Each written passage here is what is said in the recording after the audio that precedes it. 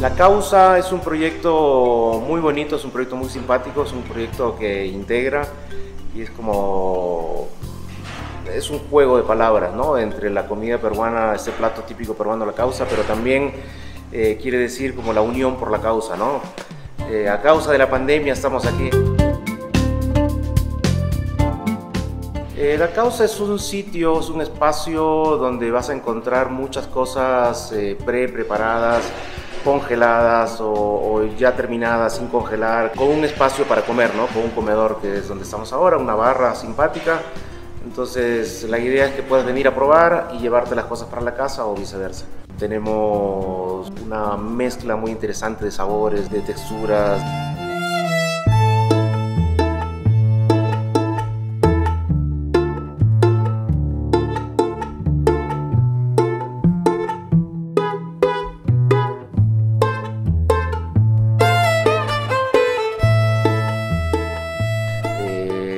Vamos a hacer como un chupe de, mariscos también con, y pescado que también está espectacular. Estamos haciendo un chupe de mero. Bueno, bueno, bueno. El secreto es el, el sambo, el haba y la arveja.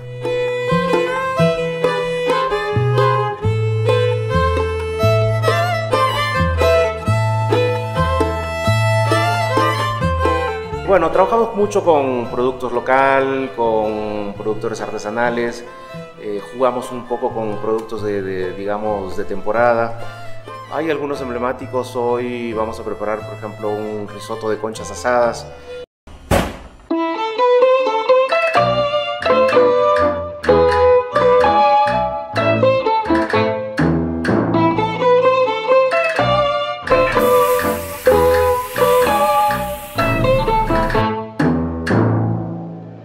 Conchas asadas es uno de mis platos favoritos del Ecuador de mis sabores así magníficos.